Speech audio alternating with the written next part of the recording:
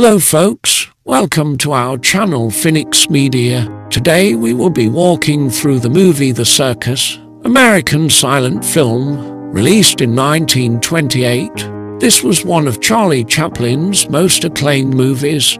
Let's begin.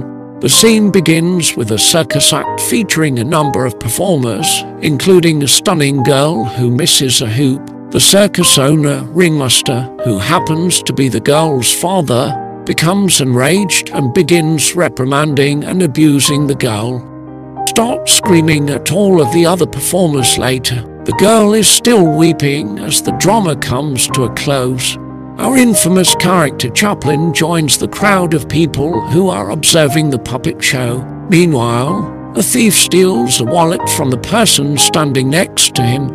Upon realizing what has happened, the owner of the wallet grabs the thief by the collar and yells, but thanks to his cunning work, the thief manages to conceal the wallet in Chaplin's coat. When Chaplin stops at a food stand, the thief follows him there. Chaplin attempts to play with a child holding a bun while he eats a large bite since he is so hungry. Police officer who is suspicious of the thief pursues him in the meantime and seizes him before taking the wallet from Chaplin's coat. Without knowing what might occur next, Chaplin checks his wallet before starting to buy lunch. After confronting Chaplin and identifying his wallet, the wallet's owner later calls for police. Chaplin, however, flees the scene and, by accident, stumbles into the middle of a circus performance where he unknowingly becomes the star of the show. The following day, the ringmaster of the struggling circus offers him a tryout, but Chaplin utterly fails. He is immediately hired to take the place of the property men when they resign because they haven't been paid. He unintentionally causes comic mayhem during a performance once more. He is cunningly employed by the ringmaster as a lowly property man who is always posted in the big top tent stage area so he can unintentionally improvise comic material. At the scenario, Chaplin stumbles inside the lion's cage, where the lion is sleeping. Frightened, he cautiously walks to the cage entrance and accidentally pulls the latch to lock the door and trap within. Once more, make an attempt to get out of the cage by using the secondary tiny door that connects to the tiger's cage and barely escapes from it. Chaplin asks the dog to not wake the lion as it barks repeatedly after noticing him in the lion's cage. In the meantime, the lion awakens and does nothing for Chaplin, believing that he is not worthy of a meal. Chaplin gets fearless after knowing that the lion ignored him. When Horse Rider Girl approached to open the door, Chaplin put up an act of braveness and he attempts to tame a lion.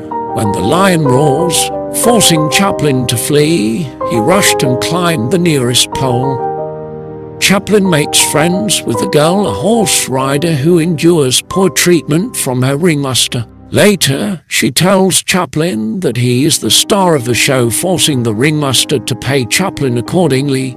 Chaplin also manages to get the girl a better care because the circus is flourishing as a result of him. Delighted, Chaplin purchases a ring from another clown after overhearing a fortune teller tell the girl that she sees love and marriage with a dark, handsome man who is near her. But unfortunately for him, she runs into the recently hired tightrope walker. As she rushes to tell the fortune teller that she has fallen in love with a new man, Chaplin listens in on their conversation. He is unable to amuse the crowds because his heart has been broken. The ringmaster cautions him that he only has one more chance after a string of poor performances. Knowing that Chaplin has been practicing his tightrope act in an effort to unseat the tightrope walker when the latter is nowhere to be found for a performance, the ringmaster sends Chaplin out in tightrope walker's place.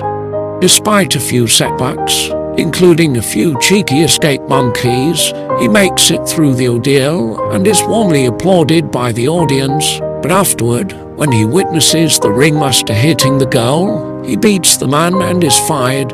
The girl flees to follow him. The tightrope walker is located by Chaplin, who then brings him back to marry the girl. The group rejoins the circus. When Tightrope Walker tells the ringmaster that his daughter is his wife, the ringmaster stops reprimanding his daughter. Chaplin stays behind when the travelling circus disbands because he would rather fade and let them enjoy themselves. He stands back up sorrowfully and begins to stroll off. Sign off. Please subscribe and stay tuned for more movie recaps and thanks for watching.